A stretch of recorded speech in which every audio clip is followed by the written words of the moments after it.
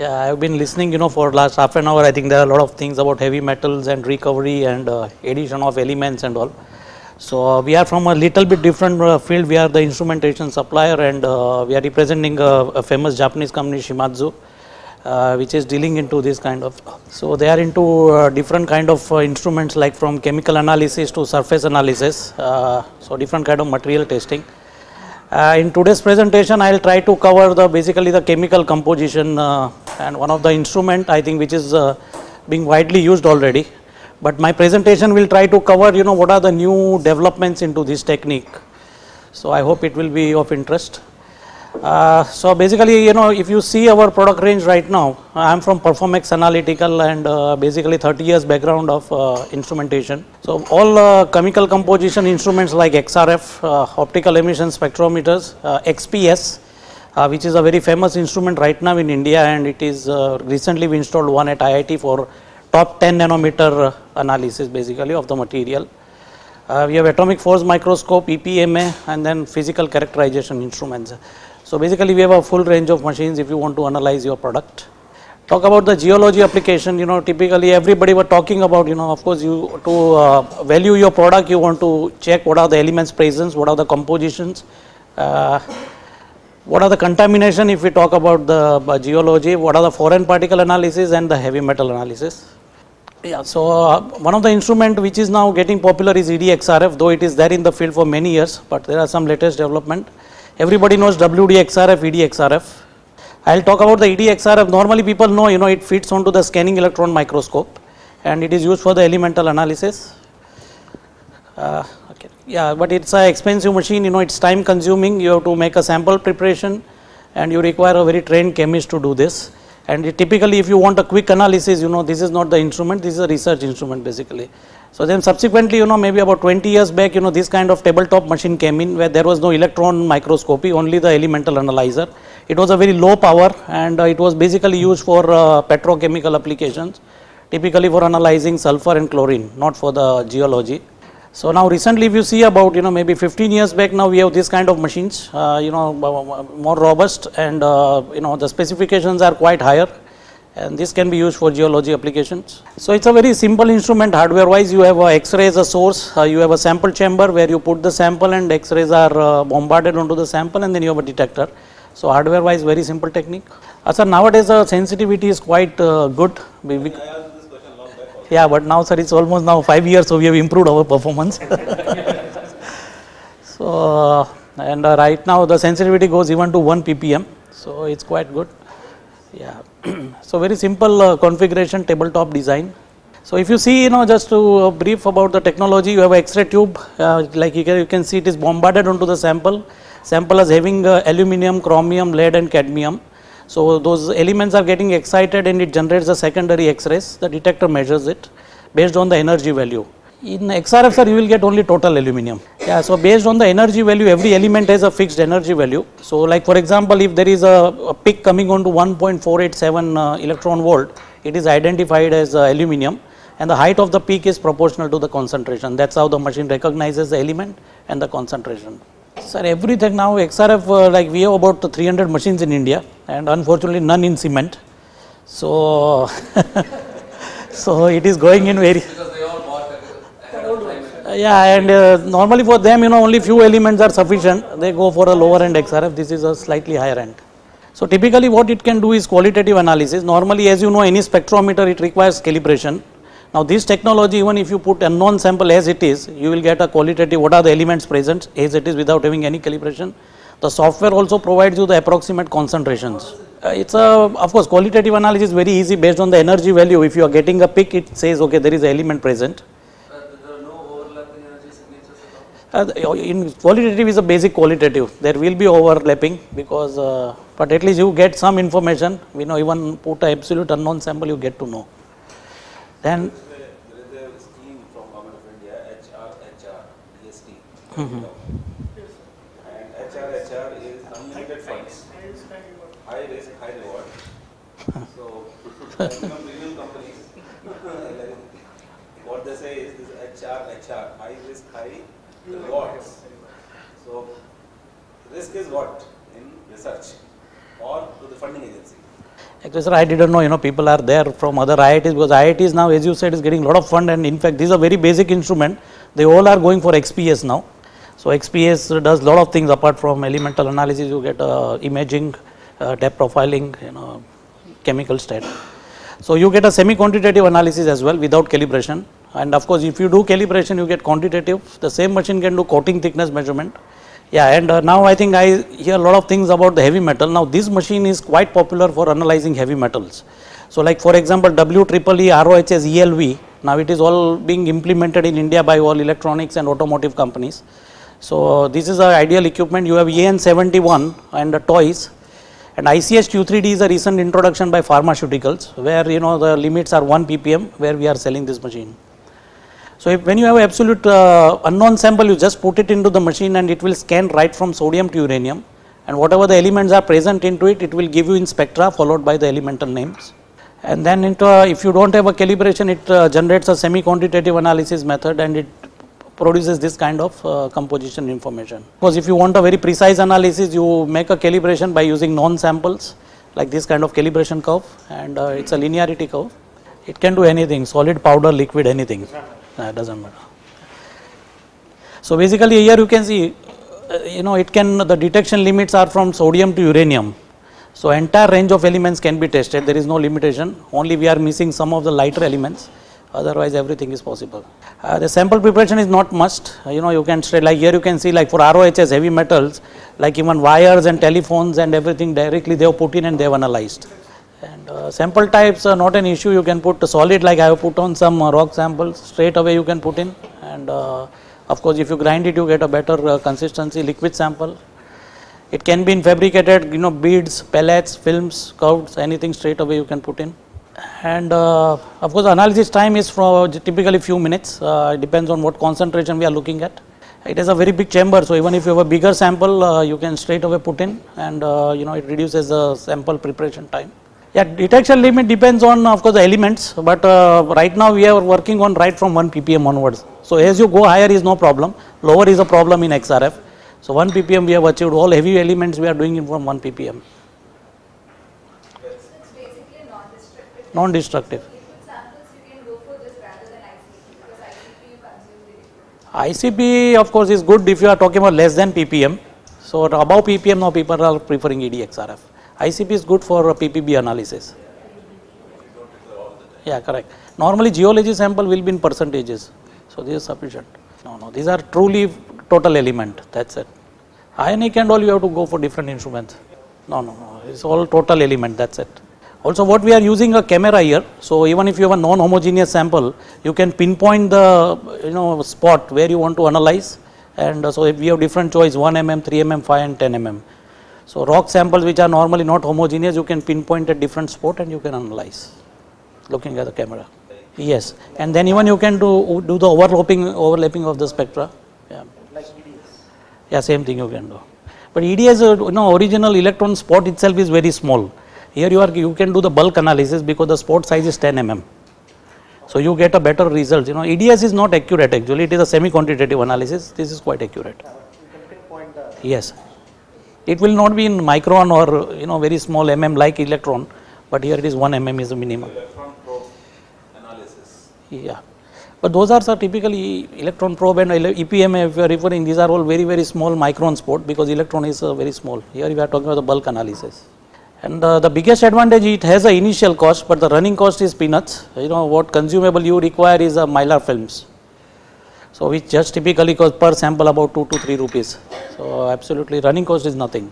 Just to brief about the heavy metal analysis, of course, you know, I think everybody knows the uh, source of the contamination. Finally, you know, one of the application like where we have sold maximum, you use any like television or the mobile phone in India, all companies are using our this machine. So all the parts uh, basically when you scrap your mobile phone or something it finally goes into uh, you know the environment and it affects. So these machines are very popular for that. Maximum 10 minutes, minimum is about even like for example this is also popular for gold analysis. So if you are doing it in the percentage about few seconds are sufficient 20 seconds 30 seconds. So unless it is a non-homogeneous then you crush it and make it powder otherwise you can put as it is. So, of course, acceptable limits are ppm, so that is why this is sufficient for heavy metal analysis and uh, Easy to operate, you know, it doesn't require a chemist to operate. Basically, straight away you put the sample and uh, machine does the rest. Quite quick, you know, has uh, the timing has a no pre-treatment and no gases or chemicals, just a power what you require to start it. Yeah, XPS actually.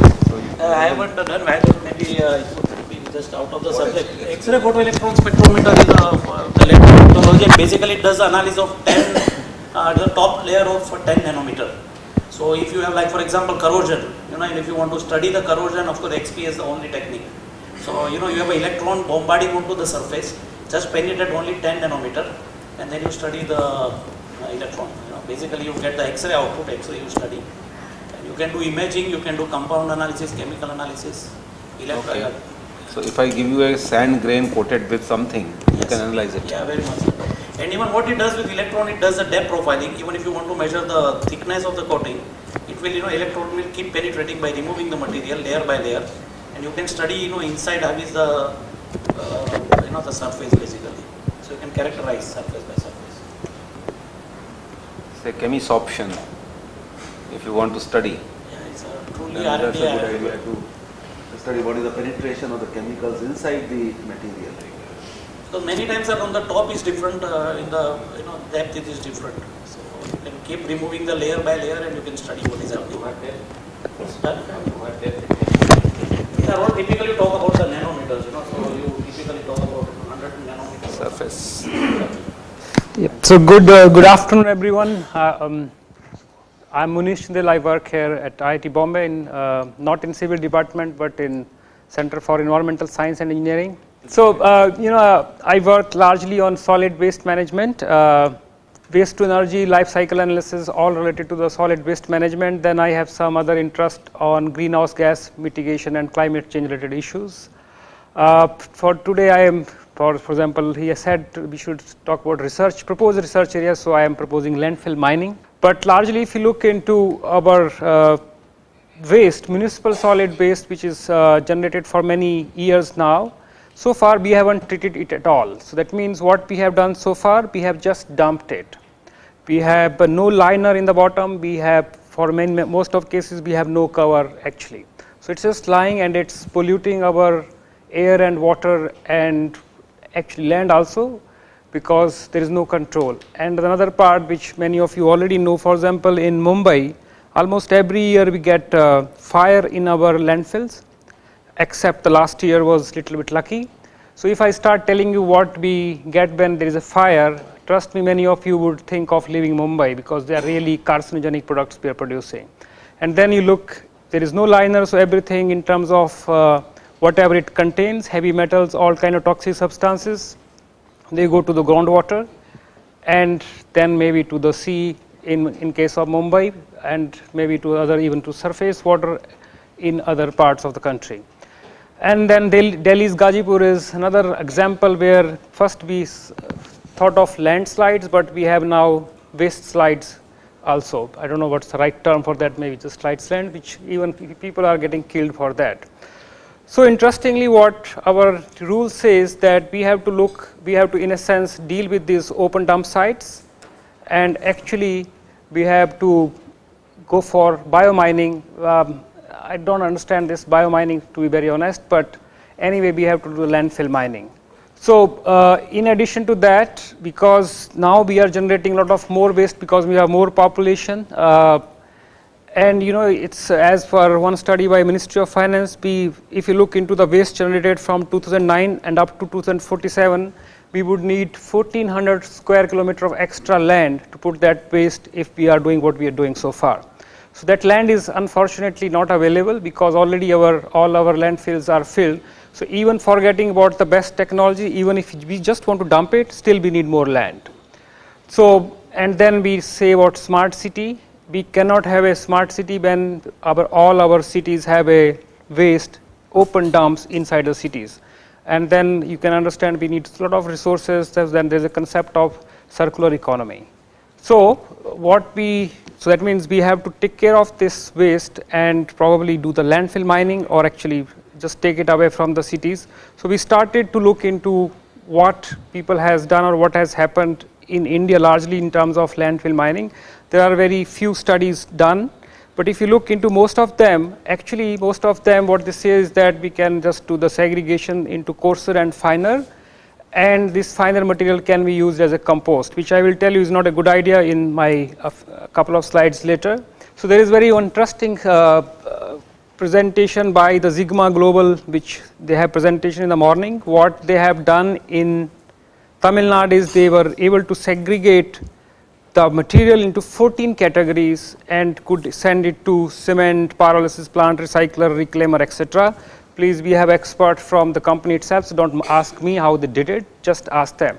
But interestingly, if you look into the, the what they are doing with their waste, most of the study says that they should be able to compost it, that is the only solution, but if you look into that, only 6% of that is probably used as soil enricher. So that's another thing which we have to see. So in our understanding, there are three reasons for landfill mining, waste to energy. Please, when we saying waste to energy, actually we can produce some energy because some part of it is combustible in nature. Uh, around 30 to 40 percent of this material can be combustible. But when we say waste to energy, don't think that it will generate extra revenue, it will offshoot some of your capital and operational cost, okay.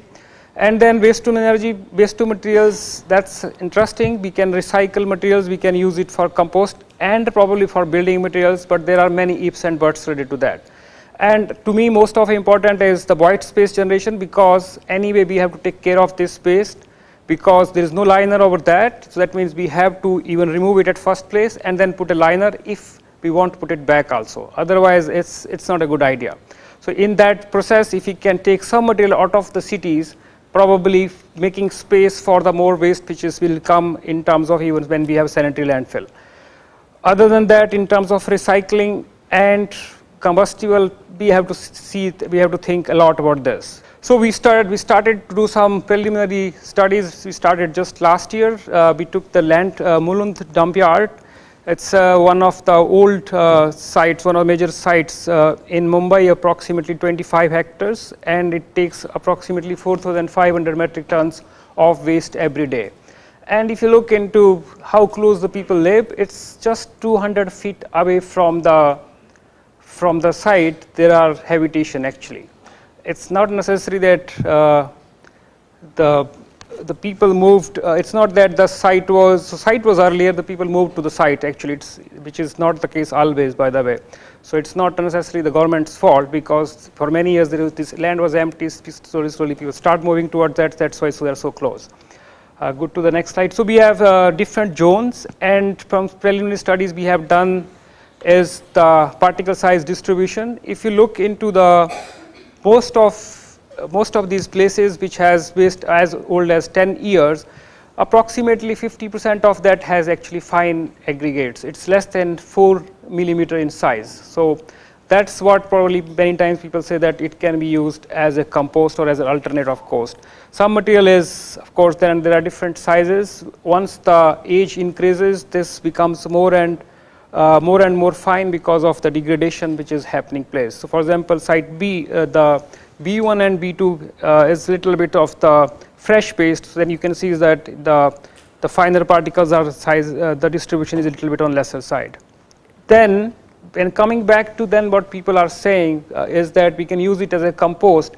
If you look into the heavy metal concentration, all of, I would say most of these places, even what we have not shown here, all the places have high concentration of heavy metals. So actually by even if we consider that it can be equivalent to a compost, actually it cannot be until unless we remove these toxic heavy metals because it doesn't fulfill the Indian standard requirements. So that's a important question which need to be answered before actually it goes to our agriculture farms.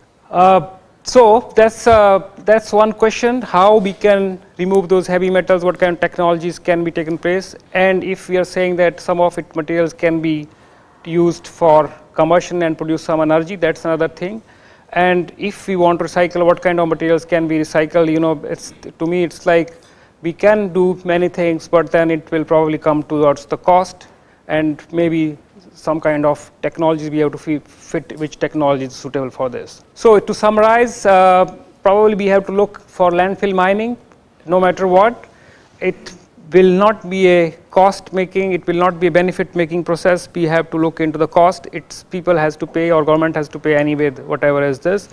If we are saying in terms of recovery, we have to see the age, characteristics, technologies. As I mentioned, for example, people say biomining, but if in my opinion, if the waste is 10, 15 year old, it's already biomined. So it's already processed. What you can do with that? I don't think it we, biomining is a good term for that. Uh, 50% of material is fine fraction. It probably can be used as a soil conditioner. I don't know how it can be used in in the construction because when I was civil engineer, of course I am still civil engineer, but people told that organic matter should be zero. But now we are saying we have soil mixed with organic matter, etc., and it can be used uh, for construction purpose. I we have to see that actually. It's not going to be that easy. So then the question is what the environmental implications and the biggest challenge probably is going to be the cost. Other than that, we are looking for what technologies in terms of valorization can be economically and environmentally friendly. You mean uh, there may be some kind of leaching happening? Of metal- course, of course. Cannot be uh, stable at one place. Yes. It will in Yeah. in the confined and unconfined equipment. Yeah, So, and you are also showing that there are three ways of doing landfill mining, Hmm. and both the three ways are not very good. So, what are the environmental evaluation criteria you are going to look for the landfill mining? That's the last uh, point you have made. Economic and environmental evaluation. What's your idea about that? Which parameters you yeah. So I'm not showing that there are three ways of doing, but I'm saying that there are three reasons for doing it. So it's going to be one process, and then you can do it. As far as I, I think that we have to certainly look for, for example, for all kinds of environmental criteria. If we are using it as a compost, if you want to use it as construction materials, we need to look into all civil engineering related issues.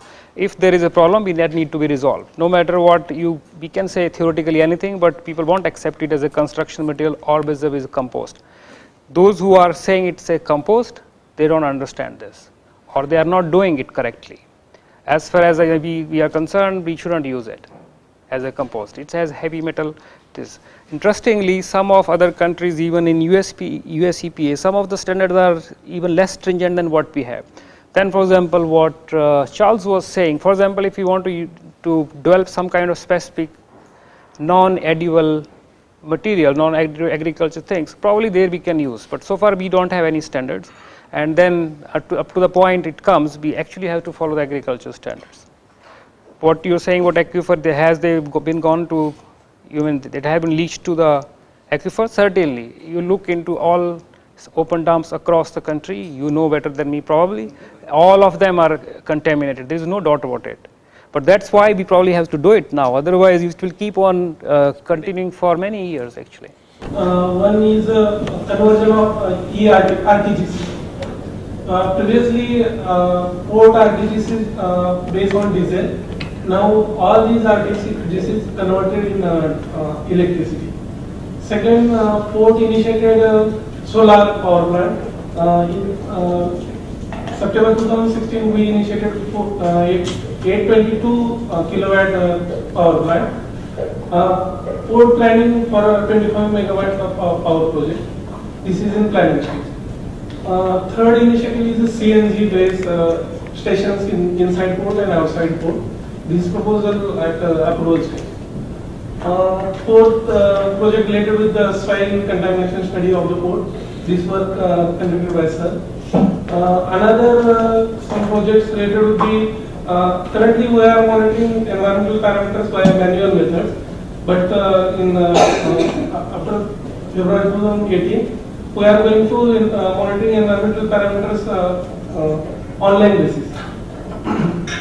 Another uh, one uh, project uh, in January 2018, uh, Port Commission uh, 4 MLD uh, wa- wastewater treatment plant. And uh, other training part and other some initiative we have initiated. What do you do with your uh, MSW, Yes, both inside and outside the port? yes. Uh, around 2 metric ton waste generated in uh, port area. Uh, currently, uh, port don't have uh, such uh, advanced technology, but uh, in next two three months, port uh, uh, going to tendering for the uh, solid waste project. under the Because they are under this green port. uh, agreement. Okay. Do they have, do they have a secured landfill site? No. Do you have a secured landfill site with a liner? No, sir.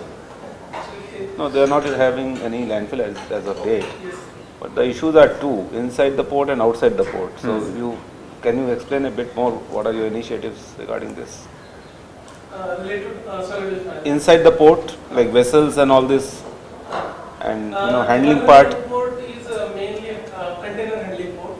Overall, 55% of the uh, India's uh, port handling is from Jawaharlal Nehru Port. Uh, this is container handling port, that's why um, not uh, more waste generated from the inside port area, but mainly waste generated from the uh, township area. It's around uh, one ton plus uh, waste generated daily from the township area. And vessel waste also we receive from the vessels. Is there any national consultant here in India which uh, gives uh, design for secured landfill? so Babu is there. Okay. Is there a- Secure land. But uh, for the recent I mean, mega cities or this smart cities, You see, there was one called Terzaghi. What? There was one called Terzaghi. Terzaghi, okay, who is the father of our subject. yeah. Now in landfill also, now there are a lot of people who are working in this area. They are the modern day Terzaghi. Yeah, yeah. No, actually, I want to tell you, you know, even the site selections are wrong. Yeah. Huh? And uh, there is a way of even trying to say that if the selected site is already wrong, you have to take some remedial actions because the municipal uh, authorities are under some pressure. You select, you know, they there is random arbitrarily selections are there.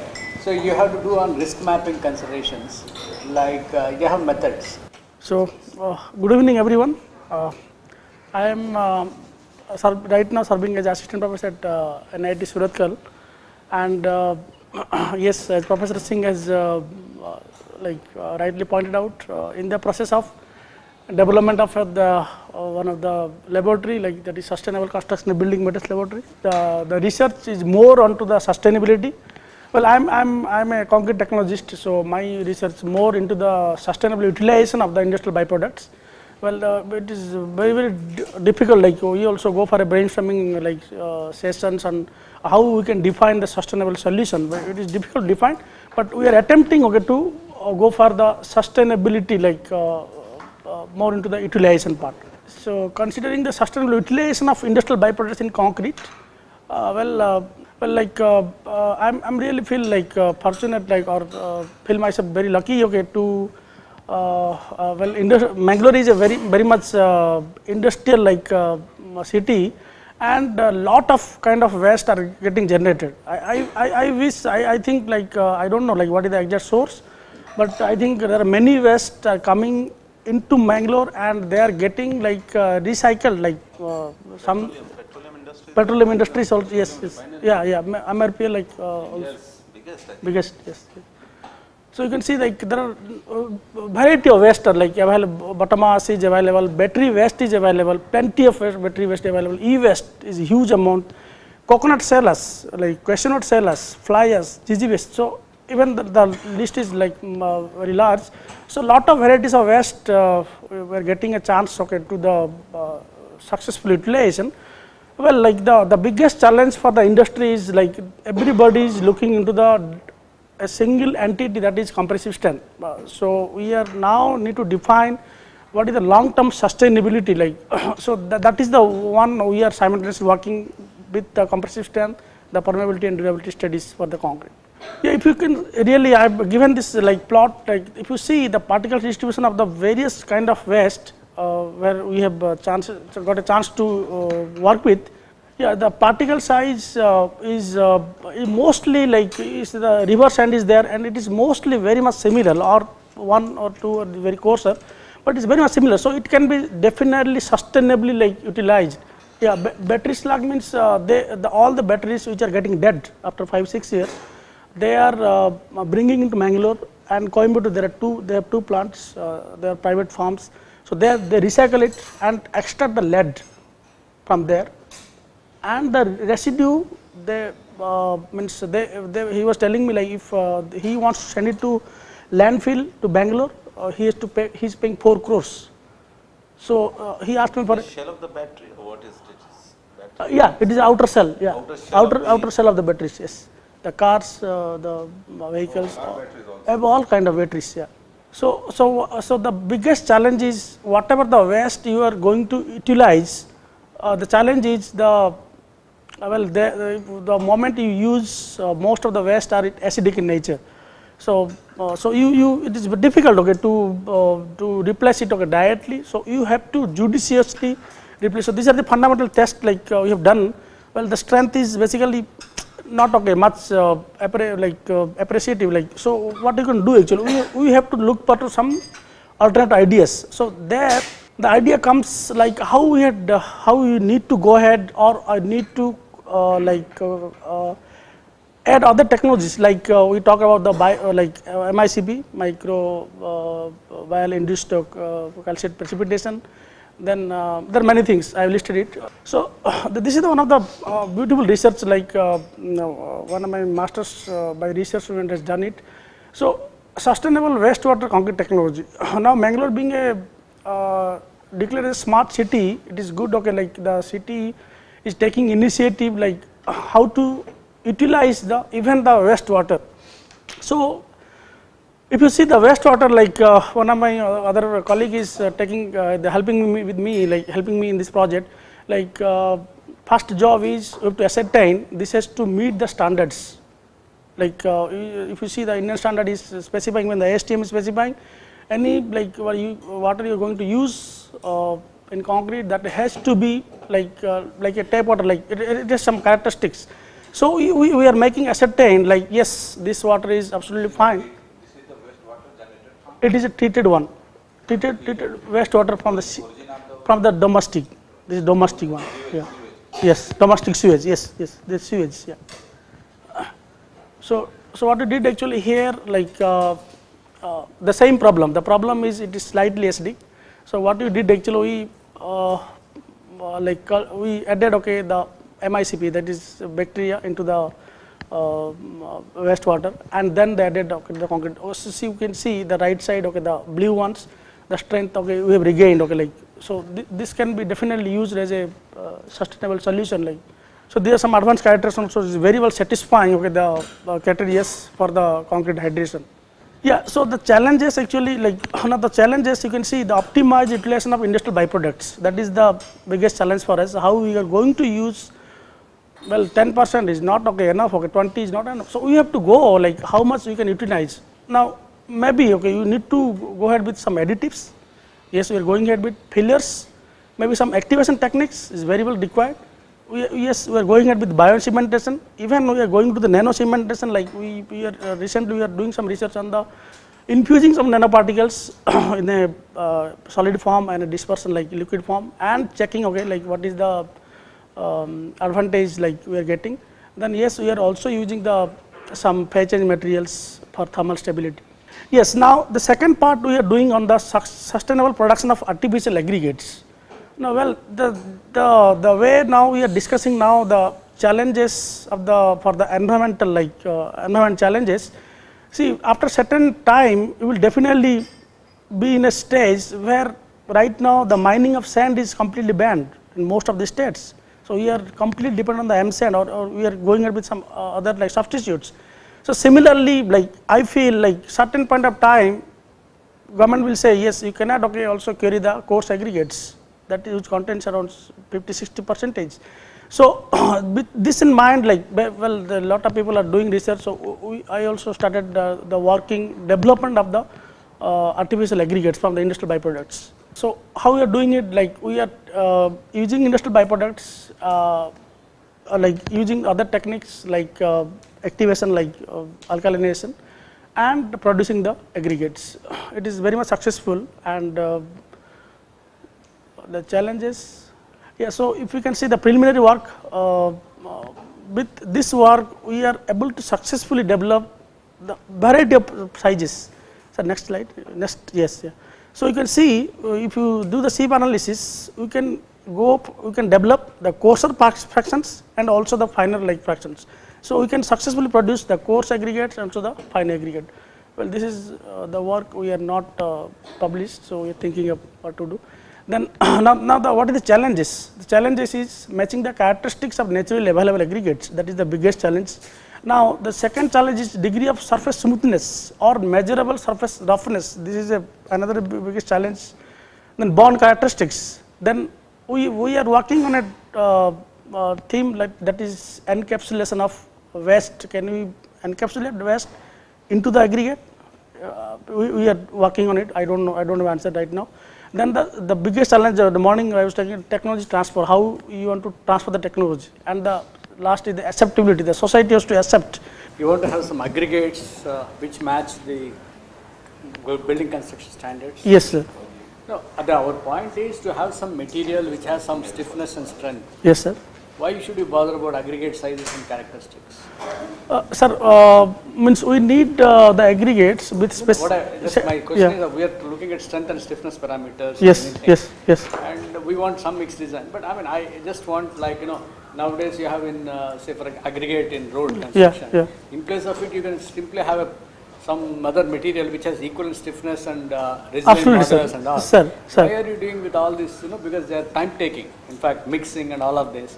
If you have a magic of having a required stiffness and strength, then it's okay.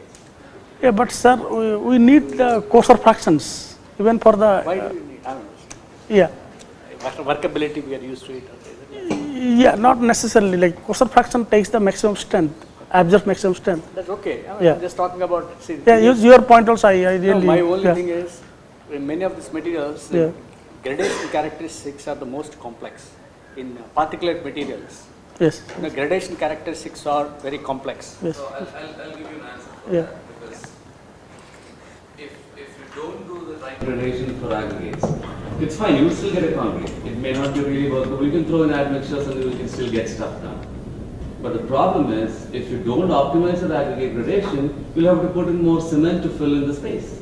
More cement, more shrinkage, more cracking, all those I things. mean, that- see, then I'm just only trying to look at uh, a material which has stiffness, equal strength and stiffness, and which can be, you know, say, I mean, because, uh, I mean, there's no different argument that, you know, if you have a particulate system, you have more variability. Okay. More mixing and more other He's saying that issues. instead of putting an aggregate, you can have, why not have a panel? Final fraction. Some, some other, no, no, some other stiffness and strength. No, that's what, because, see, I mean, we work on probabilistic, variability is the most complex thing. If you're trying to work with graded, graded, gap graded, like you can say, but if you're able to bring a cohesive matrix which gives you only your, you know, performance-based designs of strength and stiffness, what you're looking at. Yeah, that's Or fine. durability and repeat, whatever you want. somebody has to make that. Yeah, yeah, yeah. So, Yeah. It's a question of optimization. Yeah, that's all, that's what I want. end of the day, it's a question of Exactly. Whatever, yeah, exactly. If you can get something else to put under a road bed that is stiff. That's it, resilient, that's it. Absolutely fine. what would you get cheaper than? All The that, course all that, yeah. All that, I mean, because uh, sometimes if you are looking at our objectives of uh, getting a gradation, then the final objective, as I said, cost and economics and sections should be borne in mind along with this. Right, for a road base, I wouldn't mind, but for concrete, Okay. um, if you want the right characteristics in, the, in terms of durability, in terms of reduction permeability, in terms of shrinkage, Shrinkage. gradation becomes extremely important. So there's no, no question about that. If you see like uh, in Indian context, the level of contamination and the types of contamination as well as the material will be very much different. So like, uh, how do you think like your technique would be capable to take care of these uncertainties if we want to use it in India or we have to do some modification, uh, which is like, uh, which will be obtained through some uh, additional research? Uh, obviously, the, the maximum uh, can be an issue because you, you need you need a contrast between the background uh, background uh, I'm permittivity and the, the whatever you're trying to decontaminate. But I don't think you, you can reach that high level uh, practically anywhere in the world, anyways. In terms of the minimum, obviously, the more you clean up, the lower the, lower the uh, concentration of the contaminants go, the more problem you have and, and, and that. But uh, and then, the absorption to the part with the solid porous media that you have specifically you may reach the minimum. But in terms of the maximum, I don't think practically there would be an issue. Now, granted, this this would probably be a technique mostly used for